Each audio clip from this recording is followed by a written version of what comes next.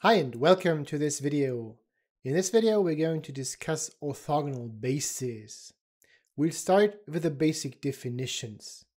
I've already said that orthogonal bases are going to be an important tool for computing orthogonal decompositions and also orthogonal projections.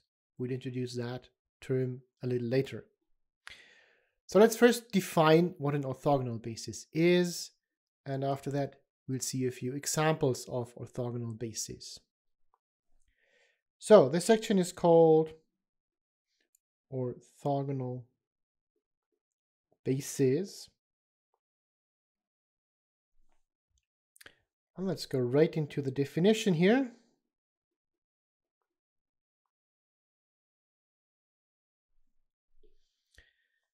As usual, we need a vector space equipped with a scalar product, so a Euclidean vector space. We'll also make it finite dimensional to make the technicalities a little easier here. So let V be a Euclidean vector space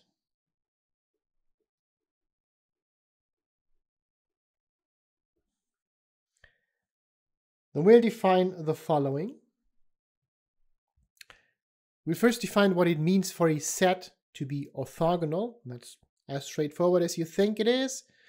Um, if each pair of vectors in the set is orthogonal, then the set of vectors is also called orthogonal.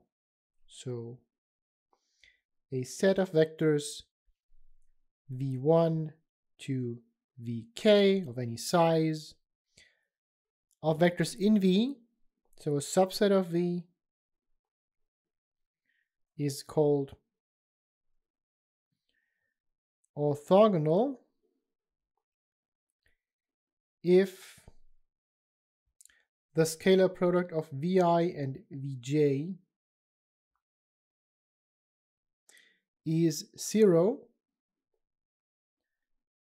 for all i j in 1 to k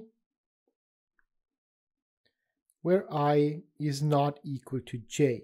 So any two distinct vectors are perpendicular. That's an orthogonal set. We can make this notion a little stronger because for measurement purposes, we'd of course like to have vectors that have a simple measurement and then can be scaled arbitrarily so that we can actually have the right, see the right scaling vectors here. Um, so what often makes things a little easier is to have vectors that have a defined length of exactly 1. And we call that property normal. So together with orthogonality, we call that orthonormal. That's the next definition. So a set of k vectors in V is called orthonormal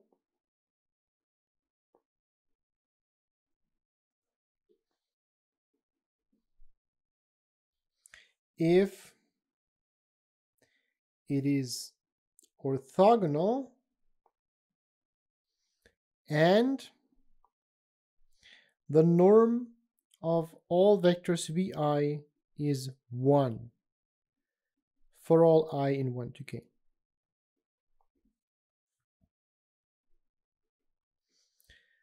And third, now we're ready to define what an orthogonal and especially an orthonormal basis is.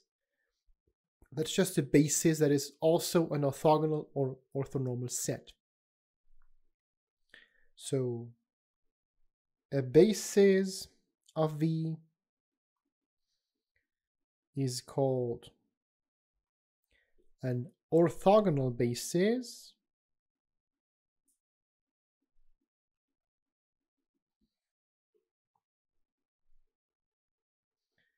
if it is also an orthogonal set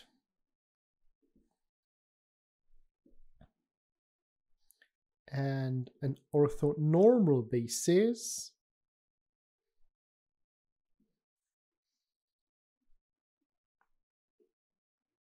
or often just ONB as an abbreviation for orthonormal bases. If it is also an orthonormal set. And that's actually going to be the case we're interested in most. So usually if we look at orthogonal bases, we'll also normalize them. So we usually use orthonormal bases or arbitrary bases, right? Orthogonal, those bases do exist, and sometimes it's enough to have an orthogonal basis, but usually we won't bother and uh, we'll normalize them also. Let's have a look at a few examples of such bases.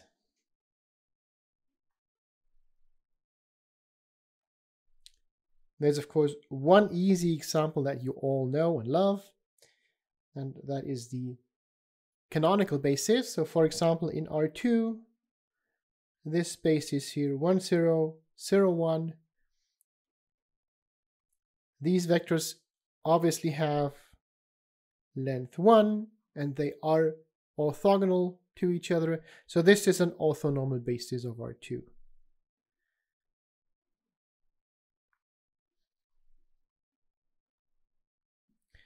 Right, so more general,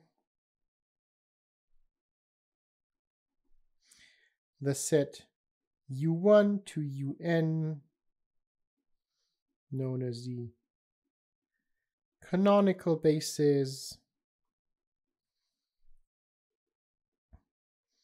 is an ONB of R to the N.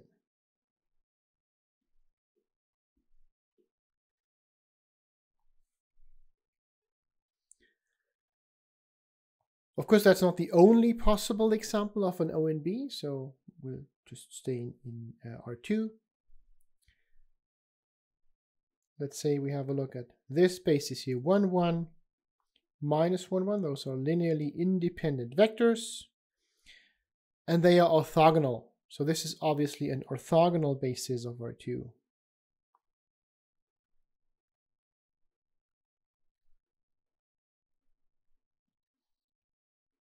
But it's not an ONB because the length of those vectors is not 1.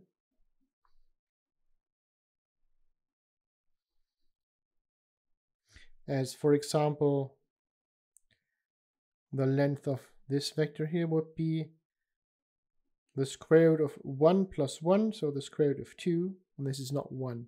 And the other one has the same length, right? So this is an orthogonal basis, but not an orthonormal basis. Quick sketch. This basis is 1, 1, like this vector here, and minus 1, 1, this vector here. So this is an orthogonal basis here. And now, of course, we can make those vectors a little shorter to force them to have length 1. Uh, and if we do this, we get an ONB right? So we can just normalize that by dividing through the length. They both have length square root of 2, so we just divide by 1 over square root of 2. We scale by that factor. And then we get vectors that are orthogonal and have length 1, so this is an ONB.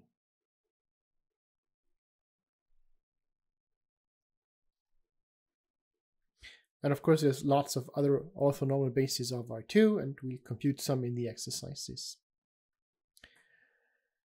There's one more thing I'd like to mention that is important about um, orthogonal vectors.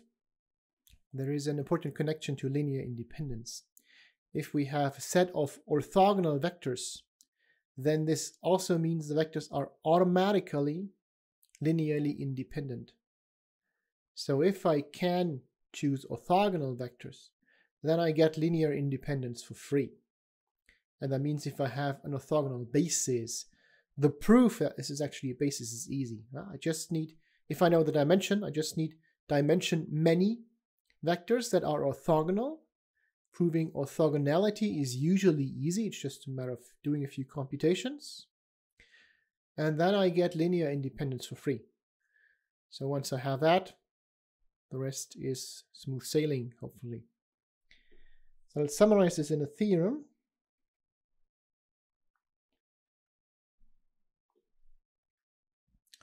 Let's say we have a vector space, let V be a vector space with scalar product, so a Euclidean vector space.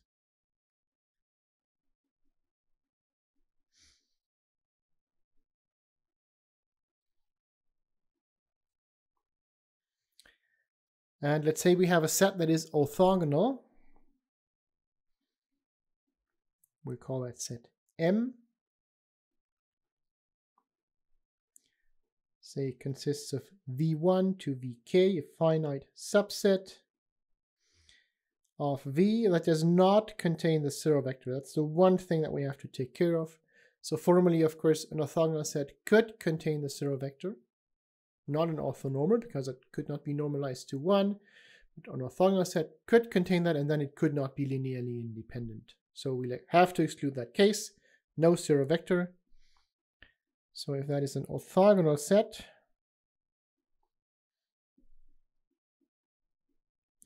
then we know that M is also linearly independent.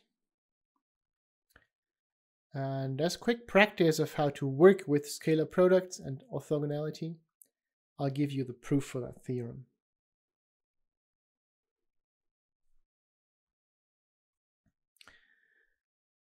So we want to show that these vectors are linearly independent, and that means we have to prove that there is no linear combination of the zero vector with non-trivial coefficients. So let's say we have a linear combination of the zero vector. Let lambda 1 to lambda k be the coefficients in R such that the sum of the lambda i vi is the zero vector i from 1 to k.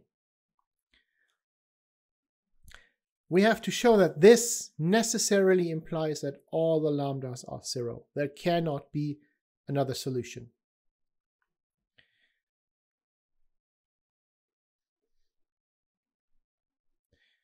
We have to show this implies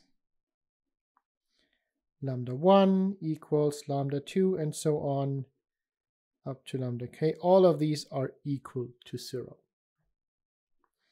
To do so, let's choose an arbitrary vector in those la in, in those v1 to vk.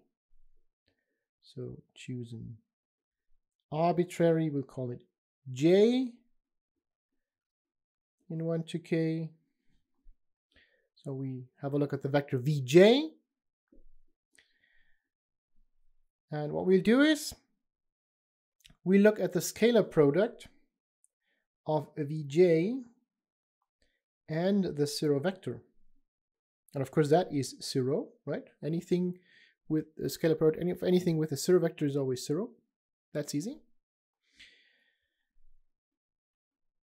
And now we know the zero vector can be expressed as the linear combination of those VI's.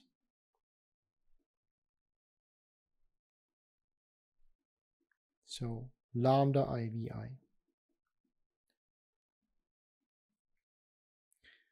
Okay, we know that is zero.